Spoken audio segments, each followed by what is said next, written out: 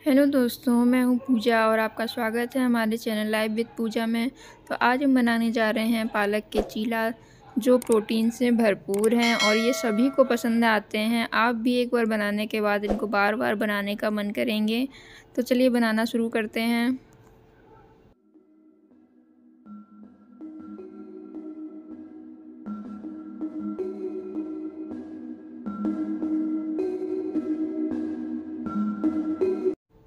इसके लिए हमें सबसे पहले चाहिए एक कप बेसन और एक कप हमने कटी हुई पालक ली है धुलकर। फाइन चॉप्ड टमाटर। फाइन चॉप्ड प्याज। क्रस्ट जिंजर नमक स्वाद अनुसार। जीरा। हरी मिर्च। हल्दी पाउडर। इनको अच्छे से हम मिला लेंगे। फिर थोड़ा थोड़ा करके हम इसमें पानी ऐड करेंगे ताकि ताकि इसमें गुठलियाँ ना पड़ें और ये स्मूथ पेस्ट बनकर तैयार हो। मिक्स करते जाएँगे।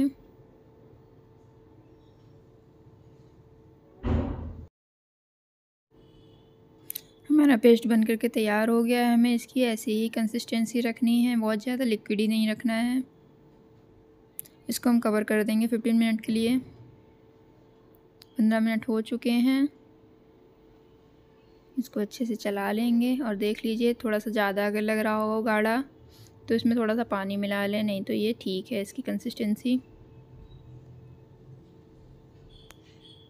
अब हम एक पैन लेंगे।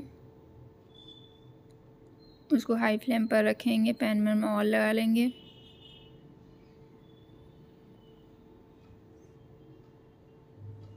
अब इसमें हम तैयार किया हुआ अपना बैटर डालेंगे। इसको अच्छे से फैला लेंगे चम्मच की मदद से। ये बहुत ही ज़्यादा पतला नहीं होना चाहिए और बहुत ज़्यादा मोटा नहीं होना चाहिए। इसकी थिकनेस मीडियम होनी चाहिए।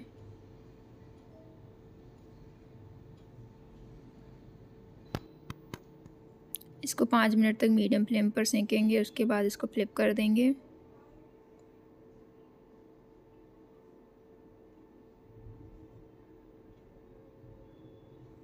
देखिए कितना अच्छा सेक रहा है। पाँच मिनट तक उसको दूसरी साइड से सेंकेंगे, उसके बाद फिर उसको पलट देंगे। देखिए कितना टेस्टी लग रहा है सुंदर सा देखने में। अगर आपको मेरा वीडियो पसंद आया हो तो आप मेरा चैनल ज़रूर सब्सक्राइब कीजिए। Thank you.